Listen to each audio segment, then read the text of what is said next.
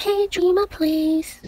Hi guys, welcome back to volume 3 of the Beginner's Guide series where we'll be covering all the currencies in the game and how you can spend them in 7 Knights. To keep things simple, I will talk about 3 things for each currency, what is it used for, how to get them, and how you can spend them wisely. I will start with a very overlooked currency and that is Honor. Honor is used for buying keys and also summoning heroes. Getting Honor daily is very easy. By sending Honor, you will get 1 Honor for each friend you send to and you will receive 2 Honor when they send it to you. So if you have 100 active friends, you can get 300 Honor in a day. That is why you should get rid of inactive friends regularly. Other sources include Fighting Arena, from quests as well as Guild War reward chests. You can only get up to 1000 honor, so once you are near that cap, you need to start spending honor in the key shop where you can use 100 honor to buy 10 keys. This is a very important daily purchase you should do in order to have more keys. Keys are basically your stamina for the game. You need keys for clearing adventure, raids, special dungeons, but largely for farming in adventure. There are a few ways to get keys. Keys regenerate on their own every 10 minutes, but that's pretty slow, so as mentioned earlier, you can go to the key shop and use honor and guild coins to get keys. You can also use rubies to get keys and disclaimer alert. As long as you have a good inflow of fodder, you will still eventually profit even after spending rubies. So it definitely isn't ridiculous. You can also get 60 keys from unknown area by spending at least 50 minutes in the game Guild check-ins also give you keys depending on how many members have checked in. You can easily get a whopping 200 keys just from ad playing and I think this is a very very easy way to get keys. Remember this, the more keys you have, the more rubies you can get because you won't have to spend rubies to sustain your farming while on auto farming. So all your keys will be converted to proper ruby earnings. Which then leads me to talk about rubies, one of the most important currencies in the game. Rubies are primarily used for gacha, which is the summoning of heroes, pets and equipment. They are also used to buy keys, do repeated castle rush runs, buy costumes, and for polishing of mythical awakened items. The main source of rubies is via farming. Each fodder after leveling from 1 to 40 gives you 3 rubies, so having a lot of fodder and keys will make you rich. You can also earn rubies from daily quests and weekly arena. Guild War and Guild Dungeon season rewards also give you rubies depending on your guild's rank at the end, not forgetting the Adventure Quest too which gives you rubies when you have fought a certain number of monsters. Hence, I will conclude by saying Ruby earning is all about time and effort. My personal advice is never feel poor. As a new or returning player, it's always ideal to have about 3000 rubies on hand because you never know when you may need them. Another super important currency you cannot lack is gold. Gold has become one of the most important currency in the game. It is used for unequipping items, building up your formation, power up, rank up, transcend, awaken, mythical, awaken all heroes, items and pets, upgrade all limit break traits, unlock hero exclusive items, summoning heroes in special hero chessboard, and also used for synthesis. So how can you get a lot of gold? The main sources of gold would be to farm in 820 on hot time and to sell duplicate 6 star special heroes for 1 million gold. Guild Raid, Guild Dungeon and Growth Dungeon are the three other main modes that give you huge quantities of gold but of course will require you to kill bosses. While gold is concurrently required in many areas, for a new and returning player, building your formation is one of the most urgent and necessary for your progress along with building your PvE DPSs. You may also encounter gold ores of varying tiers which are simply additional gold sources. They are found in adventure drops in World 8 and Guild Dungeon rewards. You need to make room in your inventory for them and sell them off quickly to get the gold value they are worth. Another very premium and elusive currency is Topaz. It is mainly used for changing special traits, shopping in the Topaz shop, resetting soul skills, refusing of new 6-star heroes, and for buying costumes. Topaz is not the easiest currency to farm for because one of the main methods of getting Topaz is by transcending heroes. The easiest way would be to use Finas to transcend normal heroes to a high level to get a lot of Topaz but Finas are rare too. A more stable source of of Topaz would be the Arena Weekly Rewards and Guild War and Guild Dungeon Season Rewards. You can also get Topaz by luck from Lucky Roulette Daily. The Topaz shop is filled with many amazing items and resources. If you are just starting to build your PvE team, PvE pets like Kayle are some of the better buys from the Topaz shop. Mythical Awakened stones are also one of the best purchases here but they do cost quite a bit. There are also various premium accessories available here, but I would strongly urge you not to bankrupt yourself on Topaz otherwise you will have a very difficult time adjusting to new metas and new PvE enemies because you cannot change traits efficiently. Always have at least 300 to 400 on hand. With those main currencies covered, I want to talk about all the hero building related currencies. The first are soul essences. These are required to upgrade your basic and special traits, you need a total of 8700 soul essence to fully upgrade a special trait from level 1 to 10. And these are only obtained by selling Leahs who give you 5000 soul essence when sold and by selling heroes, especially special heroes. Rarer tier gold frame special heroes such as 7 Knights, Dark Knights, 4 Lords, 4 Lords of All Hidden Masters and Magic Academy heroes give a lot more soul essence than blue frame ones such as Nightcrows, Pentagon, Revolution Revolutionaries and Terra Confederation. This comes in very handy when you have duplicate copies of special heroes. A recommended tip is to try ranking up your special hero to 6 star before selling them as this will give more soul essence along with gold as well. As soul essences are rare in the beginning, make sure you upgrade the limit break traits of your PvE DPS Velika and Shane first. Soul essences are not to be confused with soul shards. Soul shards are used to upgrade your soul skills in the Fighter Soul skill book.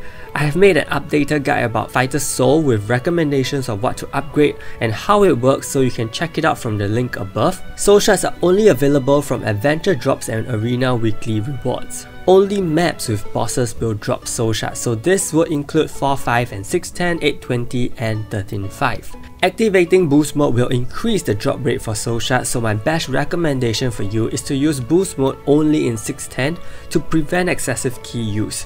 For 100 boost mode runs, you can easily get about 110 to 130 soul shards per day. You can only farm 1000 soul shards per week and this is achievable. Next will be your material heroes. In this giant category, you have your rice cakes, power-up crystals, elements, finas, and Leahs. So let's start with rice cakes and power-up crystals, which are both obtained from daily quests.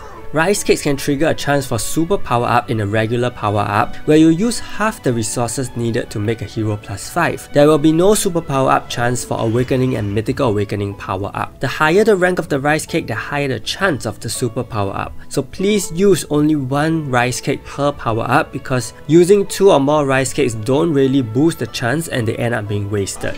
Power Up crystals are basically additional fodder which range from 4 star to 6 star used to power up other heroes. Even 4 star ones can be used in mythical power up but the boost is way too little.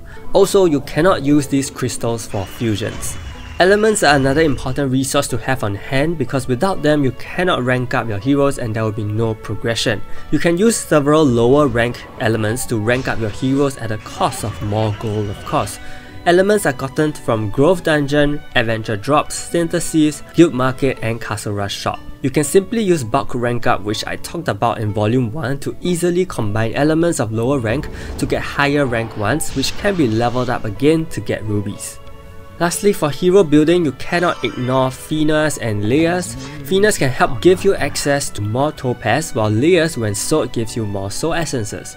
Finas are used to transcend normal heroes, so each transcendence will reward you with Topaz. Finas and Leahs can be obtained from checking into the game, monthly quest completions, as well as the guild shop. The next 7 materials or currencies I will talk about are equipment related. The first are the infamous power-up stones. I will go through with you guys in detail about item upgrading in volume 5 but for now just know that for any upgrading of weapon and armor, you will need these stones. They are also needed in the upgrading of substats for mythical awakened items via a process called polishing. Honestly, the most ideal way to get them is by farming in item raid for a good amount of items and selling all the items which you don't need. They are also obtainable from Siege Defense, Topaz Shop, Checking In, Weekly Quest and the Lucky Roulette. The indirect way to get power-up stones is to sell Asgar ores. There are 4 tiers of Asgar ores, the basic one, the rare Asgar ore, the awakened Asgar ore, and the awakened rare Asgar ore. These are actual items that will take up inventory space. Their only purpose is to be sold for power-up stones with the awakened rare Esgar ore giving you 1000 stones. You can obtain them from Unknown Area as well as Item Growth Dungeon, hence it is important to be able to clear Nightmare difficulty for Growth Dungeon as soon as possible in the game. You will also get Awakened Asgar Ores from Siege Defense which sell for much lesser power-up stones. The second are Mythical Awakened Stones. They look really similar to Power-Up Stones but are blue in color. These are used to Mythical Awakened items which are your weapons and armor. You will need 500 of these stones to Mythical Awaken one item and you can get them from daily quests, Topaz shop, checking in and the lucky roulette. There is another way to get Mythical Awaken stones and that involves selling Celestial Ores.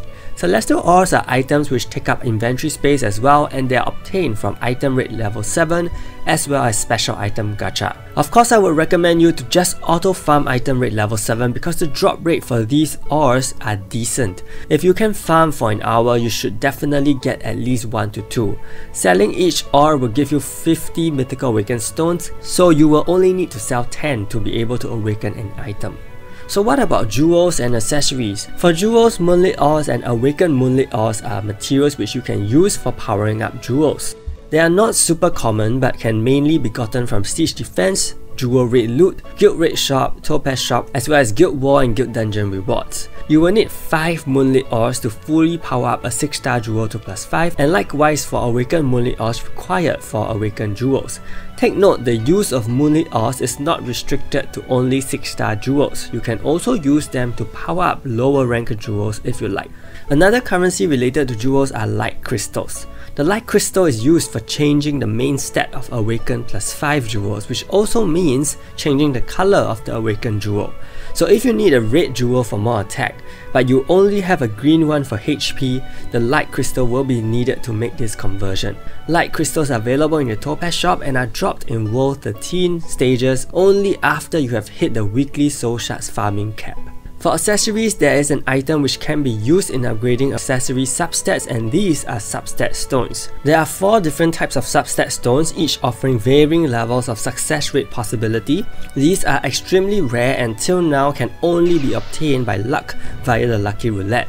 Also, if you do happen to get them, I would strongly recommend only using them on level 4 accessories due to the very low success rate of becoming level 5. The substat stone will make a much bigger difference here as compared to lower level accessories. There are also materials and currencies which are pet related. The first will be the Pet Essence. Pet Essence is used to upgrade and awaken pets' passive buffs from level 1 to 10. As the upgrade success mechanism is by chance, you will definitely need to store up a lot of Pet Essence. This is gotten by selling pets. Special pets give 25 times more pet essence than normal pets, so if you get duplicate copies of special pets, just sell them. There is no need to rank them up before selling. There is also a unique pet called Sets which gives 2000 pet essence when sold.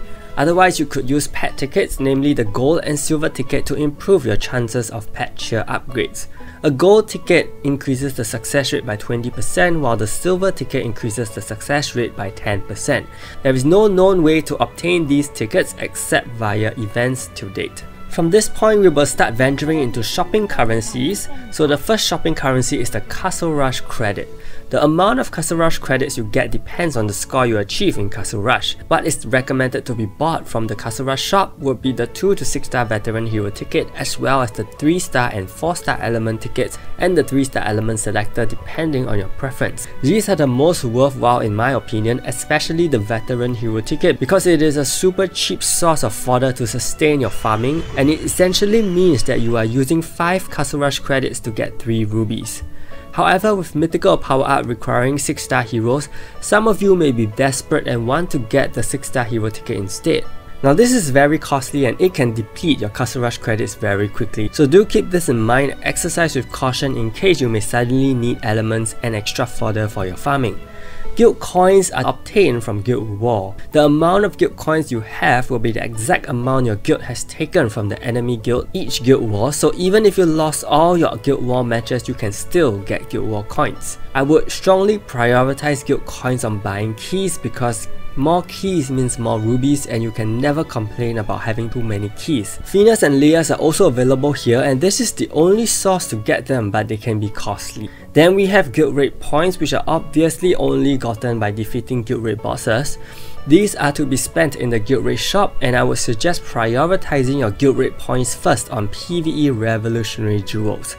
These jewels have very good substats suitable for a variety of contexts in PvE which we will go through again later in detail in volume 5 and they will highly benefit you for PvE modes like Guild Dungeon and your raid progress. If you feel that you want to get a Gelidus, Isabella accessory or Celestial accessory with 1500 or 3000 guild raid points respectively, you could also do that but only after you have the key PvE jewels because these accessories will not be super beneficial for new and returning players. So many currencies in the game but you finally know how to get and use all of them now. I hope you found this video useful and if you did, be sure to give this video a like, drop a comment and subscribe to my channel. Stay tuned for volume 4 where we will cover the game's mechanics. Thank you so much and see you!